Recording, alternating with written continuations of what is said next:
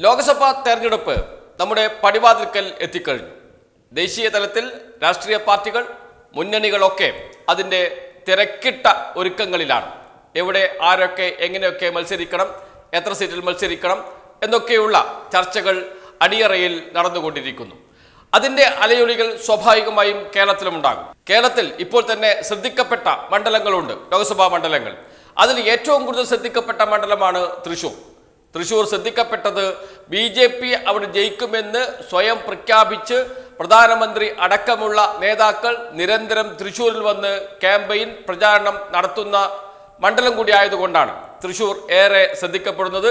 സുരേഷ് ഗോപിയെ സ്ഥാനാർത്ഥിയായി ഔദ്യോഗികമായി പ്രഖ്യാപിച്ചിട്ടില്ല എങ്കിലും സുരേഷ് ഗോപി തന്നെ ആയിരിക്കും സ്ഥാനാർത്ഥിയെന്ന് അനൗദ്യോഗികമായി ഇതിനകം തന്നെ തീരുമാനിച്ചിട്ടുണ്ട്. സുരേഷ് ഗോപി മണ്ഡലത്തിൽ സുരേഷ് ഗോപിയുടേതായ പ്രചാരണ പരിപാടികൾ ആരംഭിക്കുകയും ചെയ്തിട്ടുണ്ട്. മകളുടെ വിവാഹമടക്കം തൃശ്ശൂരിൽ നടത്തിക്കൊണ്ട് നരേന്ദ്രമോദിയെ പങ്കെടുപ്പിച്ചുകൊണ്ടൊക്കെ നടത്തിയത് ഒരു തെരഞ്ഞെടുപ്പ് സ്റ്റണ്ട് തന്നെയാണ് അല്ലെങ്കിൽ തെരഞ്ഞെടുപ്പ് പ്രചാരണം തന്നെയാണ് എന്ന് എല്ലാവർക്കും അറിയാം. ലൂർദ് പള്ളിയിൽ പോയതും ലൂർദ് പള്ളിയിലെ ലൂർദ് മാതാവിന് സ്വർണക്കിരീടം വെച്ചതുമൊക്കെ നാം കണ്ടതാണ്. അത് താഴെ വീണ് പൊട്ടി എന്നത് മറ്റൊരു വിഷയം. അത് മറ്റൊരു വ്യാഖ്യാനത്തിനൊക്കെ ഇടയാക്കിയിട്ടുണ്ട്. മണിപ്പൂരുമായി ബന്ധപ്പെടുത്തിയാണ് മണിപ്പൂരിലെ ക്രൈസ്തവ വേട്ടയുമായി ബന്ധപ്പെടുത്തിയൊക്കെയാണ് അത്തരം പ്രചാരണങ്ങൾ സോഷ്യൽ മീഡിയയിലൊക്കെ നടക്കുന്നത്. എന്ന് വെച്ചാൽ വളരെ കൊടുമ്പിരിക്കൊണ്ട ചർച്ചകൾ തൃശൂർ മണ്ഡലത്തിൽ നടക്കുന്നു. ആരൊക്കെയാണ് സ്ഥാനാർത്ഥികൾ എന്ന് അറിയേണ്ടതുണ്ട്. ഏകദേശം അത് തെളിഞ്ഞു കഴിഞ്ഞു. എന്നാൽ ഏറ്റവും ഒടുവിൽ നമുക്ക് അറിയാൻ കഴിയുന്നത് എൽ ഡി എഫ് സ്ഥാനാർത്ഥി ആരായിരിക്കും എന്നത് സംബന്ധിച്ചാണ്. ബി ജെ പി സ്ഥാനാർത്ഥി സുരേഷ് ഗോപിയാണ്. ഒരു സംശയം വേണ്ട അത് തീരുമാനിച്ചു കഴിഞ്ഞു. ടി എൻ പ്രതാപൻ തന്നെയായിരിക്കും യു ഡി എഫ് സ്ഥാനാർത്ഥി എന്ന കാര്യത്തിലും ആർക്കും സംശയമുണ്ടാകില്ല. T N Prathapan sitting M ആണ്. കഴിഞ്ഞ തവണ തൊണ്ണൂറ്റി മൂവായിരത്തോളം വോട്ടിന്റെ ഭൂരിപക്ഷത്തിന് ജയിച്ചു വന്ന ടി എൻ പ്രതാപൻ ഇത്തവണയും വീണ്ടും മത്സരിക്കുമെന്ന് ഉറപ്പായിട്ടുണ്ട്. ഏതാണ്ട് ഉറപ്പ് എന്നല്ല ഉറപ്പായിട്ടുണ്ട്.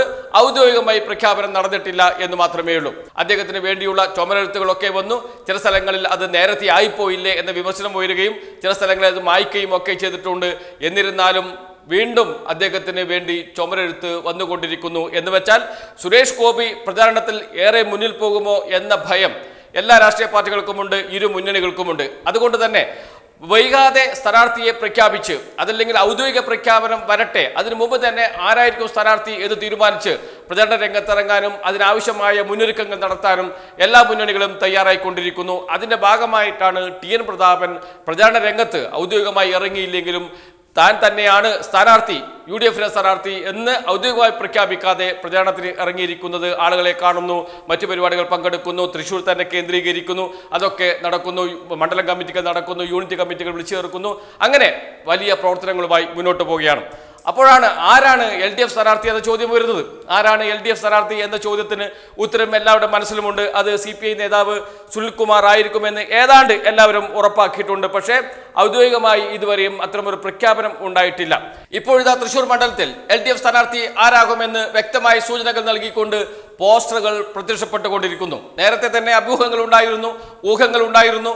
മുതിർന്ന സി നേതാക്കളോട് ചോദിക്കുമ്പോൾ അവർ അത് തന്നെ ആയിരിക്കും എന്ന് പറഞ്ഞിട്ടുമുണ്ട്. എന്നാൽ ആരും ഔദ്യോഗികമായി പേര് പറഞ്ഞിട്ടില്ല. ഇപ്പോഴിതാ തൃശൂരിൽ പേര് കൂടി പ്രത്യക്ഷപ്പെട്ടിരിക്കുന്നു പോസ്റ്ററുകൾ പ്രത്യക്ഷപ്പെട്ടിരിക്കുന്നു. അത് ഇങ്ങനെയാണ് പോസ്റ്റർ പറയുന്നത്. സുനിലേട്ടന് ഒരു വോട്ട് എന്ന് പറഞ്ഞുകൊണ്ടാണ്. എന്ന് വെച്ചാൽ വി എസ് സുനിൽകുമാറിന് ഒരു വോട്ട് എന്ന് പറഞ്ഞുകൊണ്ടാണ് പോസ്റ്ററുകൾ ഇപ്പോൾ തൃശ്ശൂരിൽ പ്രത്യക്ഷപ്പെട്ടിരിക്കുന്നത്. വിദ്യാർത്ഥികൾ തൃശ്ശൂരിലെ വിദ്യാർത്ഥികൾ എന്ന് പറഞ്ഞുകൊണ്ടാണ് പോസ്റ്റർ പ്രത്യക്ഷപ്പെട്ടിരിക്കുന്നത്.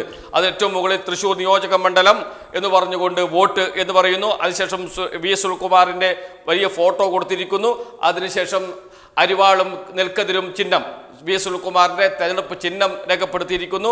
അതിനുശേഷം പറയുകയാണ് നാടിന് വേണ്ടി നന്മക്ക് ഒരു വോട്ട് അർഹതയ്ക്ക് ഒരു വോട്ട് സുനിലേട്ടന് ഒരു വോട്ട്. തൃശ്ശൂരിലെ വിദ്യാർത്ഥികൾ എന്ന് പറഞ്ഞുകൊണ്ടുള്ള പോസ്റ്റർ. എന്ന് വെച്ചാൽ തൃശ്ശൂരിലെ ചിത്രം തെളിഞ്ഞിരിക്കുന്നു. തൃശ്ശൂരിലെ ചിത്രം തെളിഞ്ഞിരിക്കുന്നു എന്ന് പറയുമ്പോൾ യു ഡി എഫ് സ്ഥാനാർത്ഥി ടി എൻ പ്രതാപനായിരിക്കും എൽ ഡി എഫ് സ്ഥാനാർത്ഥി വി എസ് സുനിൽകുമാർ ആയിരിക്കും ബി ജെ പി സ്ഥാനാർത്ഥി സുരേഷ് ഗോപിയായിരിക്കും. അതോടുകൂടി പ്രധാന മുന്നണി സ്ഥാനാർത്ഥികൾ തൃശൂരിൽ ആരാണ് എന്ന് ഇതിനകം തന്നെ വ്യക്തമാക്കി. ഒരു രാഷ്ട്രീയ പാർട്ടികളും ഔദ്യോഗികമായി പ്രഖ്യാപിച്ചിട്ടില്ല. ഒരു മുന്നണിയും ഔദ്യോഗികമായി പ്രഖ്യാപിച്ചിട്ടില്ല. രാഷ്ട്രീയ പാർട്ടികൾ തമ്മിൽ സീറ്റ് വിഭജന ചർച്ചകൾ നടക്കുന്നതേയുള്ളൂ. യു ഡി എഫിന്റെ സീറ്റ് വിഭജന ചർച്ച നടക്കാൻ പോകുന്നു. മുസ്ലിം ലീഗ് മൂന്ന് സീറ്റ് ചോദിച്ചിട്ടുണ്ട്. അത് ഏതൊക്കെയെന്ന് തീരുമാനിക്കേണ്ടതുണ്ട്. എന്നിരുന്നാലും തൃശൂരിൽ ടി എം പ്രതാപനാണ് എന്ന കാര്യത്തിൽ ആർക്കും ഒരു സംശയമില്ല T N Prathapan sitting M അവിടെ മത്സരിക്കും. പിന്നീട് സംശയം ആരാണ് എൽ ഡി എഫ് സ്ഥാനാർത്ഥി എന്നതാണ്. കഴിഞ്ഞ തവണ രാജാജി മാത്യു തോമസ് ആണ് സി പി ഐയുടെ സ്ഥാനാർത്ഥിയായി മത്സരിച്ചത് എൽ ഡി എഫ് സ്ഥാനാർത്ഥിയായി മത്സരിച്ചത്. സി പി ഐയുടെ സീറ്റാണ്. അപ്പോൾ സി പി ഐ ആരെ നിർത്തും എന്ന ചോദ്യം ഉയരുന്നുണ്ട്. സി പി ഐ ഇത്തവണ അവിടെ മത്സരിപ്പിക്കുന്നത് മറ്റാരെയുമല്ല വി എസ് സുനിൽകുമാർ എന്ന സി പി ഐയുടെ ഏറ്റവും നല്ല മുഖം തൃശ്ശൂർക്കാരൻ തൃശ്ശൂർ ജനങ്ങളെ അറിയുന്ന ആൾ തൃശ്ശൂരിന്റെ സ്പന്ദനം പോലും അറിയുന്ന ആൾ മുൻ മന്ത്രി മന്ത്രിയായി നിന്നുകൊണ്ട് മികച്ച പ്രകടനം കാഴ്ചവെച്ച ആൾ എന്ന നിലയിലൊക്കെ സി പി ഐയുടെ നാളെ വളർന്നു വരുന്ന പ്രതീക്ഷ ഉള്ള നേതാക്കളിൽ ഒരാളാണ് വി എസ് സുനിൽകുമാർ. യുവജന നേതാവായി വന്ന് മന്ത്രിയായി ജനഹൃദയങ്ങളിൽ ഇടം പിടിച്ച നേതാവ്. തൃശ്ശൂരിൽ ജില്ലക്കാരൻ തൃശൂർക്കാരൻ തന്നെയാണ്. തൃശൂരിലെ നാടും നാട്ടിടവഴികളും പോലും അറിയുന്ന ആൾ തന്നെയാണ് വി എസ് സുനിൽകുമാർ. അതുകൊണ്ട് ടി എം പ്രതാപനെതിരെ ഏറ്റവും നല്ല സ്ഥാനാർത്ഥി ജയസാധ്യതയുള്ള സ്ഥാനാർത്ഥിയെ തന്നെയാണ് സി പി ഐ മുന്നോട്ട് വയ്ക്കുന്നത് അത് വി എസ് സുനിൽകുമാർ ആയിരിക്കും എന്നാണ് ഇപ്പോൾ മനസ്സിലാകുന്നത്. അതുകൊണ്ട് തന്നെയാണ് വി എസ് സുൽകുമാറിന്റെ പോസ്റ്ററുകൾ വിദ്യാർത്ഥികൾ തൃശ്ശൂരിലെ വിദ്യാർത്ഥികൾ എന്ന രൂപത്തിൽ ഇപ്പോൾ വന്നിരിക്കുന്നത്. കാരണം സ്ഥാനാർത്ഥിയെ പ്രഖ്യാപിക്കാൻ ദിവസങ്ങൾ എടുക്കും അങ്ങനെ ദിവസങ്ങൾ എടുക്കുന്ന ഘട്ടത്തിൽ Suresh Gopi B J P സ്ഥാനാർത്ഥി ഏറെ മുന്നിൽ പോകും. കാരണം വരുന്നത് പ്രധാനമന്ത്രിയാണ്. വരുന്നത് കേന്ദ്ര ആഭ്യന്തര വകുപ്പ് മന്ത്രിയാണ്. വരുന്നത് ബി ജെ പിയുടെ അഖിലേന്ത്യാ പ്രസിഡന്റ് ജെ പി നദ്ദയാണ്. ആ പരിപാടികളിലൊക്കെ പങ്കെടുക്കുന്നത് സുരേഷ് ഗോപിയാണ്. സുരേഷ് ഗോപിയെ ഉയർത്തിക്കാട്ടിക്കൊണ്ടാണ് പ്രചാരണം നടക്കുന്നത്. ഔദ്യോഗികമായി പ്രഖ്യാപനം വന്നിട്ടില്ല എന്നേ ഉള്ളൂ. എല്ലാവരുടെ മനസ്സിലും സുരേഷ് ഗോപിയുണ്ട്. സുരേഷ് ഗോപി തന്നെയായിരിക്കും സ്ഥാനാർത്ഥി എന്ന് ഉറപ്പിച്ചിട്ടുണ്ട്. ആ പ്രചരണം മുന്നോട്ട് പോകുന്നു. അപ്പോൾ അടങ്ങിയിരിക്കാൻ കഴിയില്ല മറ്റു മുന്നണികൾക്ക്. അവർക്കും പ്രചരണം ആരംഭിക്കേണ്ടതുണ്ട്. ഔദ്യോഗികമായ പ്രഖ്യാപനം വരുന്നതിന് മുമ്പേ പ്രചാരണം ആരംഭിക്കണം. അങ്ങനെയാണ് ടി എം പ്രതാപൻ മത്സരരംഗത്തുണ്ടാകും എന്ന് ഉറപ്പിച്ച് ടി എം പ്രതാപന് വേണ്ടി പോസ്റ്ററുകളും ചുമരെഴുത്തുകളും വരാൻ തുടങ്ങിയത്. അതോടൊപ്പം തന്നെയാണ് ഇപ്പോൾ എൽ ഡി എഫ് സ്ഥാനാർത്ഥിക്ക് വേണ്ടിയും പോസ്റ്റർ വന്നിരിക്കുന്നത്. ആ പോസ്റ്ററിൽ പറയുന്ന എൽ ഡി എഫിന്റെ സ്ഥാനാർത്ഥി സി പി ഐ നേതാവ് മുൻ മന്ത്രി വി എസ് സുനിൽകുമാറാണ്. സി പി ഐക്ക് മുന്നോട്ട് വെക്കാനും കഴിയുന്ന ഏറ്റവും നല്ല മുഖത്തെ തന്നെയാണ് തൃശ്ശൂരിന് വേണ്ടി മത്സരരംഗത്ത് ഇറക്കിയിരിക്കുന്നത് എന്നത് മത്സരം കടുക്കുമെന്ന കാര്യത്തിൽ സംശയമേയില്ല.